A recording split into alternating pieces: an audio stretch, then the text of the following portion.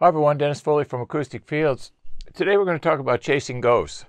Ghosts kind of, uh, in this situation, is going to refer to the harmonics because that's the most important part, really, uh, that we listen to the most and identify with the most and attach to the most emotionally. You know, the the fundamental note that's struck is is cool, but the tail is really where all our connectivity goes, and you have to be able to hear that. You have to have a room that has a high enough resolution that you can hear that harmonic tail.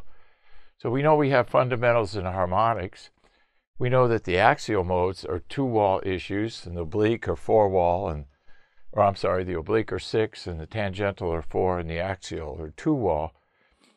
And the axial modes are the most powerful. We must treat those.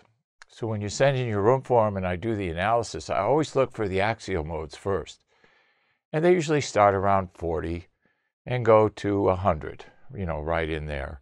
So they have to be treated because a 40 is an 80, is a 120, is a 160 problem. And that's the harmonic, the first, second, third order harmonic. If you have a 40 cycle fundamental, you have an 80 cycle first order harmonic. So it's the harmonics that we really want to get. The harmonics have to live and die on their own volition.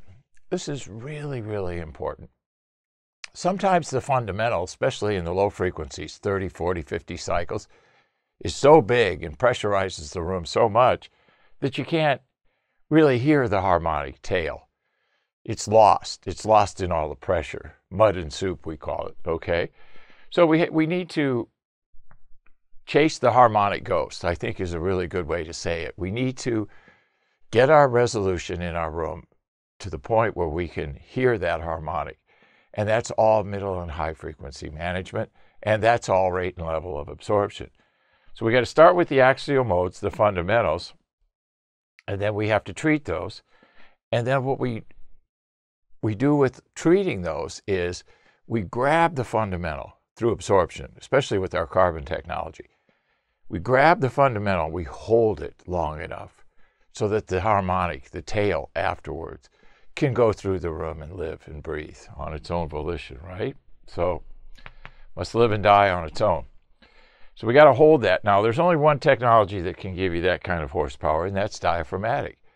Boxes filled with building insulation can't do it. Membrane absorbers can't do it. Helmholtz are too frequency specific, and you need so many of them. So broadband diaphragmatic absorption will give you that kind of horsepower.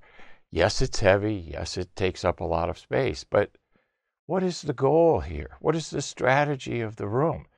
Is it to treat the room with treatment that doesn't work? Is it to treat the room with treatment that will work but takes up a little bit more space and is too heavy? You have to decide, okay? But it all can be accomplished.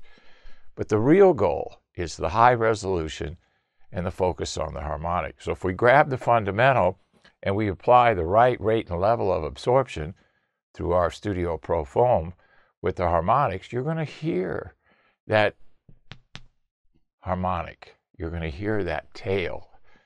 And the fundamental will be managed uh, enough and absorbed enough, attenuated enough, that the harmonic can live and you can hear it. It won't be smothered and smeared uh, by its parents, so to speak. The harmonics, the children, and the parents are the fundamental. So, chasing ghosts, the harmonics. That's what we really want in our room. That's the resolution of our room to let those harmonics live and die on their own. Hope this helps. Thank you. Thank you for watching this video, and if you liked it, please give us a thumbs up. We also have a newsletter that you can subscribe to, so please do that because we offer special price discounts to only those on our newsletter. And then don't forget about our forum. We have started a forum on our own website where people ask questions, and I usually get a chance every couple days to look at it. There's an interchange between people on the forum, and we'll give you real answers uh, on a regular basis, so that'll help you. Thank you.